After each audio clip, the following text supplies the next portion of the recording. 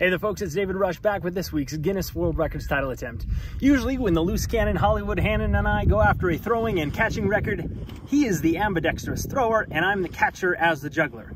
However, we ran into an awkward situation this time for the most alternating catches in one minute in the plank position, and that I could not hold the plank efficiently for one full minute to catch the balls. So we had to swap it up. I threw the balls, he did the catching. Look at those abs right there. Man, he was so strong.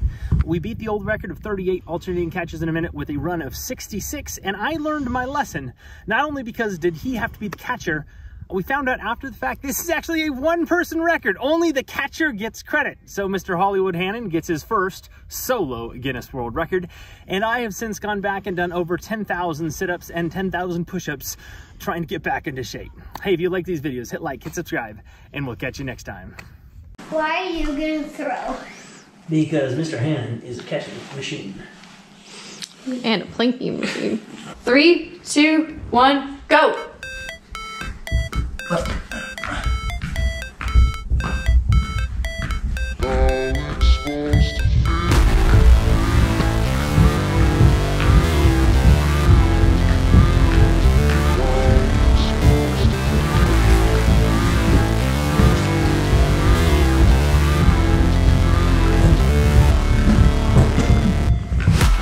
break, always fight, never quit, do it right, play the game,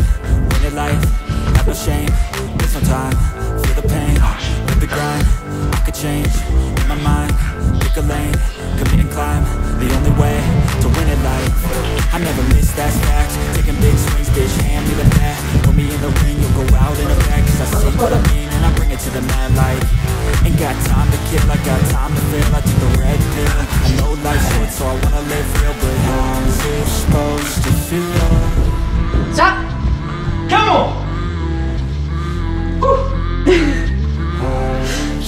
Well done, Mr. All right, we gotta pink.